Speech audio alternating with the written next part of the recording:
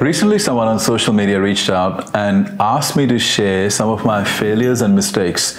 And I thought it was a good idea because obviously, if you go into my LinkedIn profile or you go into my website or you do a Google search on my name, uh, you'll see that there's things that I have done which I'm obviously proud of and naturally, we talk about our achievements uh, when we promote ourselves. But the fact is, I think it's good for me to take this opportunity to share some of my failures and mistakes because I think it gives people some perspective that nobody really gets to high achievement or success or fulfillment without lots of errors, lots of mistakes, and lots of embarrassing moments. I believe when you go through these types of challenges and problems and failures, I think it builds character. One of my first mistakes was to try and pick a job without knowing what my passion was. One of my first corporate jobs was working for a bank as a teller. And I didn't realize it at the time, but I had absolutely no interest in sitting behind a counter and counting cash. Naturally, I was terrible at it. Not only was I terrible, the staff members had to stay back every day and try and help me balance my till because they always found that there was extra money. The problem was not that I had less money, the problem was I had extra money and some, once I remember saying to one of the staff members, and this was in the late 90s, I remember saying to her, well, what's the problem I have extra money? She looked at me and she said, well, it's not a good thing that you have extra money because it means that you've taken more money from somebody else. And I remember that those days were absolutely horrific because everybody had to stay back, they had to help me balance. And it was very embarrassing for me. And at that time, I had no idea what my passion was. I had no idea what my strengths were. All I was looking for was a job that would pay me a salary with a reputable company. And I'm so glad that that incident happened because through that, I realized that I was actually very good at talking to people and I was still interested in the area of banking and money, but I just wasn't very good at counting cash, sitting behind a counter and doing administrative type of work. And if I had my time all over again, I probably would have done some personality tests, taken a stock of my strengths and my values before picking a career and a job. One of the other mistakes that I think I made is I didn't start a business early in life because I was so conditioned to seek job security and my goals were just to buy a house and a car, I really didn't think beyond that. And if I had my time all over again, I probably would have attempted to start a business at a much early age because you have more time to recover from mistakes and risks. And even though now I have good solid business experience and I tried to accelerate my learning in a very short space of time, and I do have to say that the corporate experience was quite handy. I think if I had started business earlier, because there is so much to learn in business. You see, business is not just a single skill set. There are so many things from marketing to sales to product development to leadership to operational issues, finance, and that takes a lot of time. So I do wish that I had started business a little earlier than I did.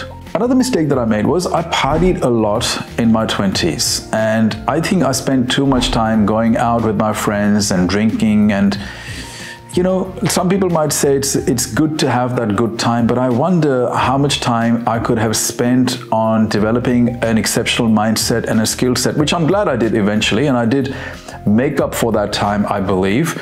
But I think I may have, you know, even in some cases damaged my health by drinking excessively, by not taking care of my peace of mind. And I do sometimes think if I had my time all over again, I probably would have been a little bit more balanced with my partying attitude. And I do think that part of the reason I partied so much was because I just did not have any meaning and inspiration in the work that I was doing. And it was like an escape. And I think if you're somebody who also has an issue with excessive partying, you can probably relate to the fact that when there is meaning and purpose and inspiration missing in your life and your work, you tend to go out there and you tend to splurge and do the types of things that feel good in the short term and provide short-term respite and relief, but in the long term can be very damaging to us. A fundamental mistake that I also made when I was younger was to have too much ego, and I think it came from a fear of not admitting that I didn't know everything. And instead of going out and learning from successful people, I didn't want to admit that I had ignorance. And sometimes what happens is ignorance and arrogance becomes a really bad combination. I think I was afraid for people to realize I didn't know as much. But rather than being humble and rather than saying, look, I want to learn and admitting that I didn't know as much, I think I sometimes acted out of excessive ego, and I think that prevented me from being able to learn as much as I could have when I was young. A big mistake that I made, not just once but repeatedly, was to not take enough responsibility for my life and my results. I have blamed everybody for my problems from my parents to the government to my employer to my wife. And I think when people are frustrated, they tend to blame something else or somebody else. And now I teach success, and one of the things that I teach is that unless we take 100% responsibility for where we are, even though the tendency in the short term may be to shift blame, in the long term, if you want to be successful, we need to take 100% responsibility. So I think this was one of the fundamental mistakes that I made was I always found somebody else to blame. But the reason I was still able to change my life was because in the long term, I took 100% responsibility and I did what I could. Another one of my mistakes that I sometimes reflect on is the fact that I sold investments too prematurely. And I think this was back in the early days of my journey when I didn't really understand the importance of time in wealth creation and I did not fully understand the applications of compound interest as they apply to investing. I ended up making premature decisions where I ended up selling investments prematurely and ended up putting some money into lifestyle. But very quickly I realized that that was a mistake. And then since then, I have prioritized investing over lifestyle to rectify that problem. Another fundamental mistake that I made was I tried to do everything on my own and I did not get a mentor till I turned 31. So really it I think it put me behind a lot because once I identified good mentors and I leveraged of their learning and experience, I found that I accelerated my success very quickly.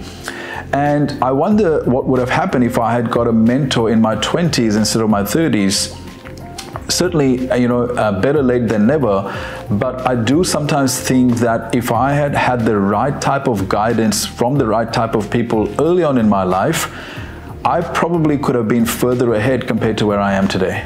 One thing that I recently recognized is that by not learning how things are built, I find that I have some deficiencies in my ability to work with tradespeople. I think as a man, it's important to sometimes know how things are built. So I realized when I was, you know, if I'm building a house or if I'm doing gardening, and there's a lot of things that I just did not know because you know, once I determined that I was not going to be in the blue collar space, I took no time to understand some of the physical work that one has to do at some point in their life, whether it's changing things in the house or fixing things in the house.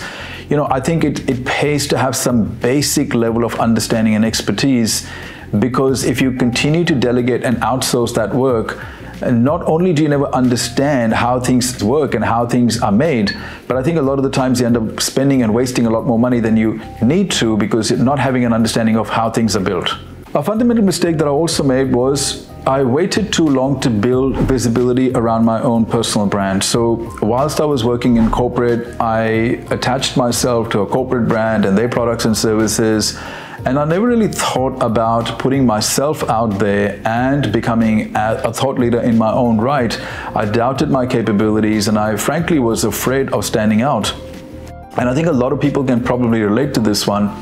But this is a regret because from the time that I decided that I was going to become visible and I was going to start to share my experiences, my perspectives, my thoughts, my ideas, and my insights, what has happened to my career is just absolutely incredible. And I wish that somebody had told me how important visibility is to your career and that if you just have expertise, you end up working way too hard for too little. But if you combine expertise with visibility, I think it can really propel your career fast. And probably the last fundamental mistake that I can think of that I continued to make a lot was to pick friends and girlfriends based on looks over personality and values. And I think a lot of the times I felt that that was the most important thing. But I think when you get older, you start to realize that personality compatibility and values alignment is way more important because at some point when the looks deteriorate, what happens is if you don't have compatibility and you don't have foundational alignment on principles and values,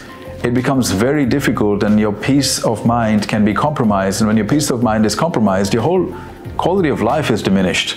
I hope you enjoyed learning about some of my failures and mistakes, especially if you've been following me on social media. And I think I'm proud of the fact that I did not allow those failures and mistakes to permanently disable me. In fact, I've used them as uh, stepping stones and foundational steps to improve myself and to use them as a basis to propel myself forward and to enhance my learning.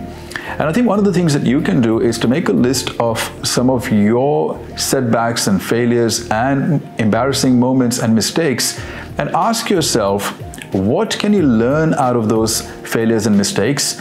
And can you possibly use them as foundational stepping stones for the next level of your success?